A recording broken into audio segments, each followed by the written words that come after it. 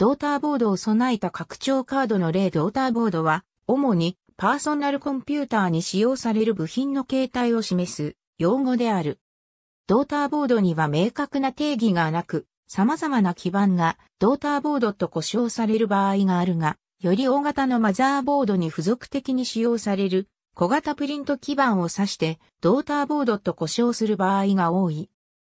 ドーターボードは、隙板に対して小さな追加基板の総称である。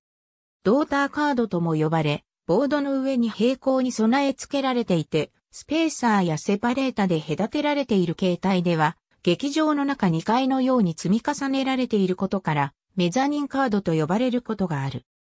コンピューターのような電子機器内部での隙板に対する副基板の関係を示すには、一般的にメインボード、サブボードという表記方法が今でも取られているが、PC のような機器類の内部構成を表現する過程で、マザーに抱かれたドーターという比喩的な名称で呼ばれることになった。マザーボードに汎用の拡張カードを装着するために使用される拡張スロットのみを備えたドーターボードは特にライザーカードと呼ばれる場合が多い。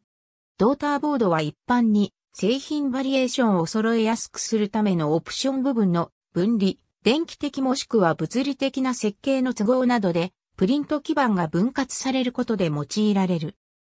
前者の例としては、国ごとに規格が違うモデムを別基板にモジュール化することで国際展開を容易にしており、そのような構成になっているノート PC などが挙げられ、後者の例としては、音質の向上を目的として、音声回路のアナログ部分を別基板に、モジュール化している一部の PC 用マザーボードが挙げられる。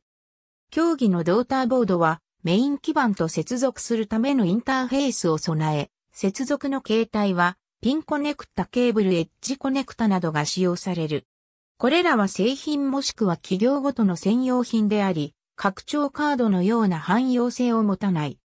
講義のドーターボードではインターフェースに標準規格を使用した汎用の拡張カードを含める場合もあるが、これら汎用製品は一般に拡張カードと呼称され、ドーターボードと呼ばれる場合は少ない。